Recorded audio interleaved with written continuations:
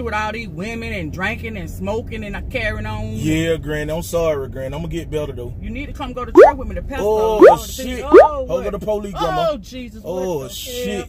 Oh, you Just ain't got be- nothing in here. Yeah, yeah, like I said. Oh, just be calm. you I'm gonna say everything, man. Oh, Jesus. Just oh, calm down. I'm gonna say everything, man. The pastor ain't gonna Any like police this. officer ugly. Oh, put your hands on cause he might. The pastor ain't gonna like this. Hey, how you doing, sir? How you doing, sir? Praise the Lord. Registration. Praise him. There you go. Hallelujah. Praise him. I got one question. Hmm. If y'all got any guns or drugs in the vehicle, both of y'all going to jail. Both are going to jail. Hell, So I'm gonna tell you the truth. I ain't got no gun or no drugs in her. But she do. What the hell? She put it back there behind her seat. She got a lot of stuff. what of the stuff. hell he talking about? What So the you might need to go on up. Run, Granny, run! Go!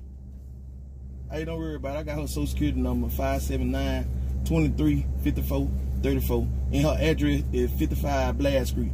She'll be over there about 30 more minutes. Go get her ass.